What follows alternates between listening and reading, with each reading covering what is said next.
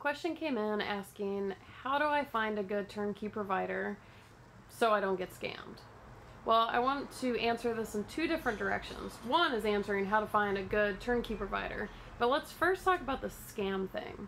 So, I've said this before, but I want to reemphasize it, and there are actually people out there who are saying contrary to what I'm about to tell you. But I am dead set that I think I'm right on this one. Ultimately, it doesn't matter who you buy through. There's going to be caveats to this. But technically, it does not matter who you buy a turnkey through as far as the provider goes, assuming you do proper due diligence. Because your due diligence to ensure that you're getting what it is that you're hoping to get as far as the property is 100% about the property. Ultimately, technically, I use that word because there are ways that can make a difference, but technically, who sells you a property is irrelevant. You could buy a property from the biggest scammer on the planet and it'd be okay because your due diligence is about the property. It's not about the person selling it to you.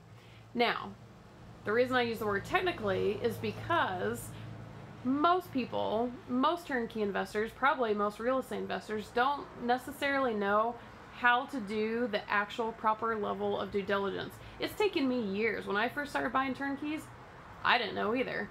And I did kind of what I thought made sense, but over the years I was like, ooh, hmm, okay, missed something. And so it's taken me a long time to figure it out. And it takes a while to really nail down exactly how to verify everything. But everything you need to verify to ensure that you're not being scammed is a verification on the property, not the person selling it to you. The difference that the person selling it to you is going to make is you can probably get away with not doing quite as much due diligence. Your buying process, your experience with the whole thing is going to be just better in general as far as like communication. You know, they might be able to help you. Sometimes they can kind of serve as mentors, not like officially, but like, you know, help mentor you through the process, especially if you've never been through it before. So in those cases, if you are dealing with a scammer or someone who is just a bad turnkey provider, um, your experience may not be good. You may be required, really, to do that much due diligence because you need to ensure that you're not getting scammed. But again, whether you're getting scammed or not lies in the property, not in the person selling it to you. Um, but chances are, if you are working with a bad turnkey provider or a scammer, which for the record, I've actually never known of any scammers who have posed, poised, poised, posed themselves as turnkey providers. All of the horror stories that you've ever heard have been not from a scamming perspective necessarily. It's just that a lot of people got away with selling properties in less than advertised condition to, you know, worst case, they were selling to naive investors and they knew it, and so they didn't really put a lot of effort forth, if you will. But from an actual scamming, like setting out to scam people, I've never seen that in turnkey world. So again, the horror stories have really come from properties just being delivered not as advertised.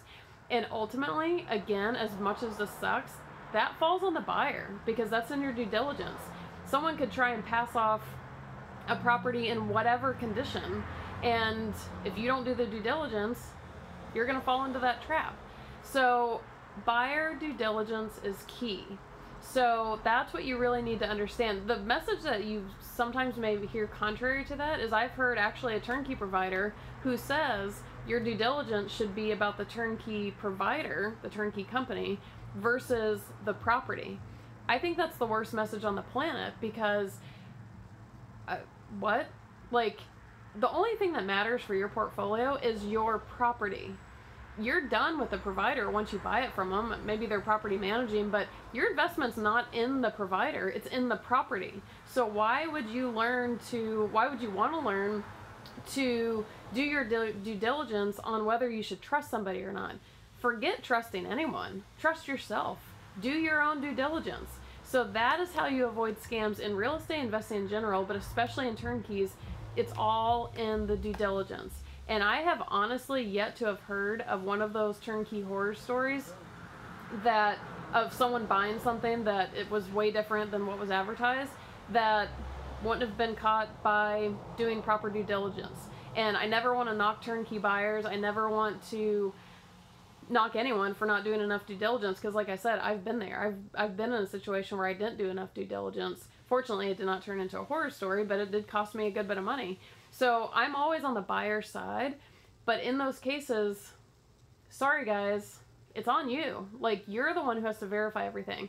So, when you're thinking of who you're working with, yeah, it's so helpful to trust them because really like if you end up with a bad provider or whatever, like chances are the properties they try and sell you are not going to pass muster.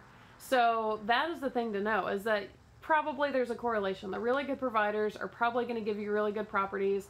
The bad providers may kind of give you bad properties, but you don't know that.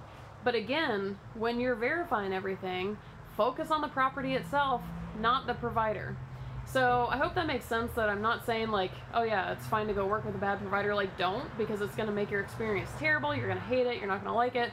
You might end up with a bad property. Chances are you don't know how to do enough due diligence properly anyways. Been there. So focus on finding the good providers, but I really want to uh, drive home the point of it is in the property, not the provider. So now, to actually answer the question at hand, how do you find a good turnkey provider?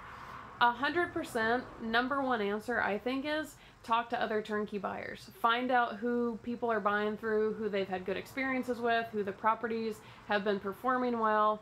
That is going to be your number one, absolute most important uh, thing is referrals because I've seen turn I've seen turnkey providers that I don't particularly like and I don't really value what they offer.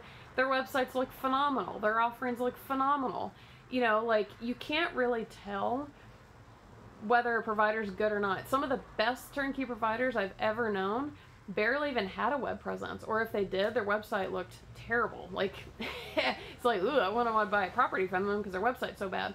But their properties were amazing. So it's really hard if you're on your own to distinguish who's the good providers versus the bad ones. And once you get a list of providers and you start calling them, if you're newer, you also don't really know what to ask them. Like you don't know what you don't know. Like, you know, you it's possible that you call a turnkey provider and you really connect with them on the phone. They give you amazing information. They're super helpful. Like, cool. If you jive with a turnkey provider that you meet, rock on. But as far as like what they offer versus like is it good, is it bad, it, it's hard. Again, it goes back to kind of like the due diligence thing.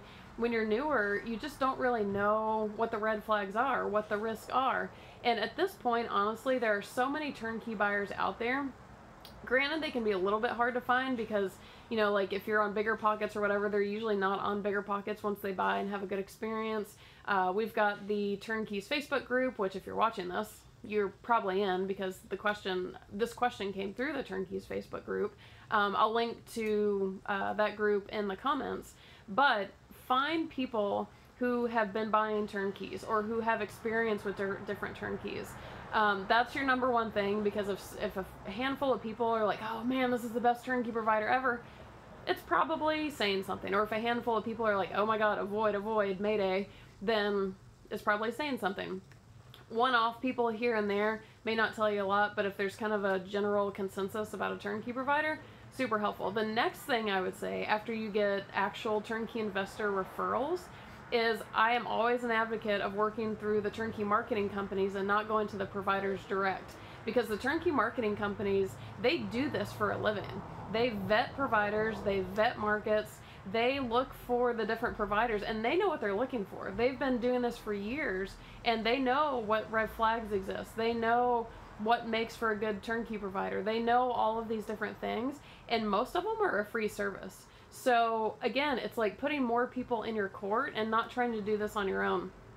Ask people who are way further ahead in turnkey world than you are. Why not? Like, why would you try and reinvent the wheel and do all your own problems? Like, learn from everybody else. So, step one, get other turnkey investor referrals.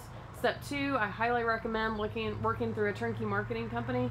And if you do that, remember, if you're doing kind of due diligence on the companies, the marketing company yeah, you can hear about different experiences, but ultimately you're still going to buy from the provider. So your due diligence really wants to be on the provider side. But that's another video or neither here now nor there. Um, but work through the turnkey marketing companies. They're going to better be better at helping you strategize for your portfolio. Maybe one market's better for you than another. The direct providers aren't really going to give you that necessarily. And then after that, I would talk to the providers directly and see how you feel about them. Like find out who everyone's feeling good about themselves and then find out, you know, talk to them yourself, find out how you feel about them and then ultimately do your due diligence on the property because again, that's what matters. And if you do all of that, you're probably setting yourself up for a really good turnkey experience.